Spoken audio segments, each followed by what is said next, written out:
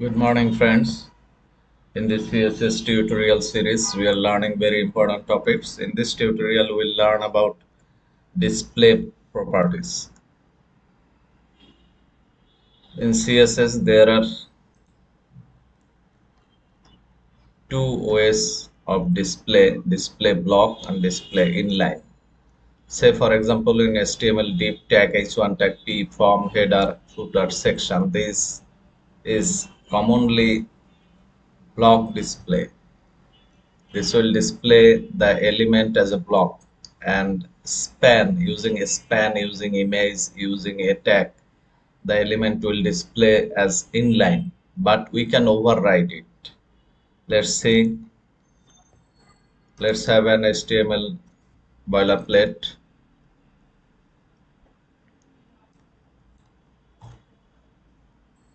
Let's have uh, a ul tag li inside li anchor tag href sharp. Let's open some let's write some navigation menu about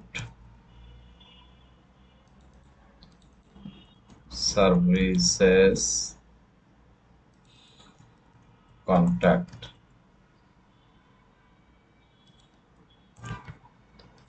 So if we open it in live server we will say it a block display.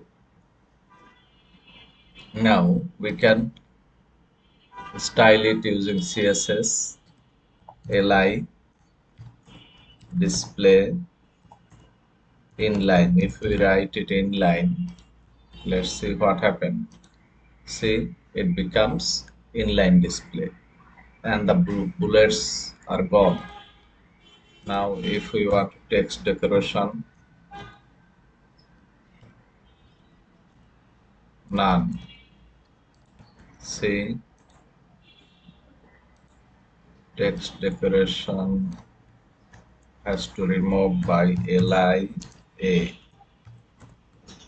from anchor tag text decoration has been removed.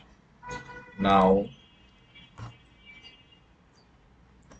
border 1 pixel solid red. Border given. Use some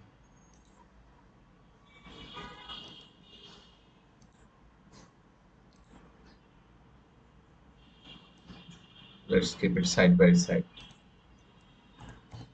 Margin 5 pixel padding 5 pixel. Margin padding border radius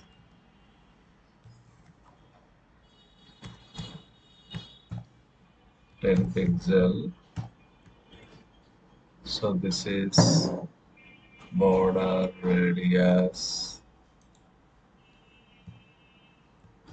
10 pixel so this is the way we can display a block element uh, as inline element just select the selector and display right display inline.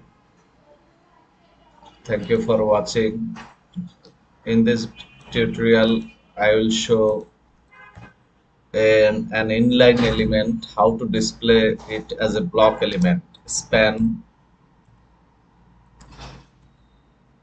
We are learning css in a fruitful way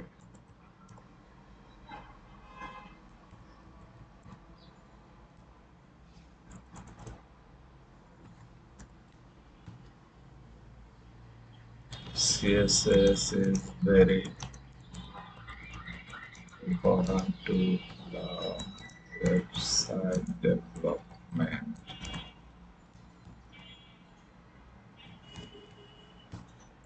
So we should learn this is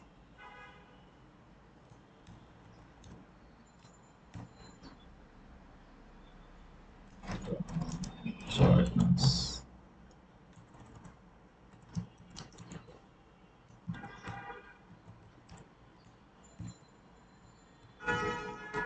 let us say this is span and usually it displays inline. All the elements inline but how to display it as a block a span display block. Now see it is displayed as block. So we can overwrite the inline element as block element we can override the block element as inline element by using the display property with the value inline or block. So thank you very much for watching this video. If you like my video please subscribe my channel and continue watching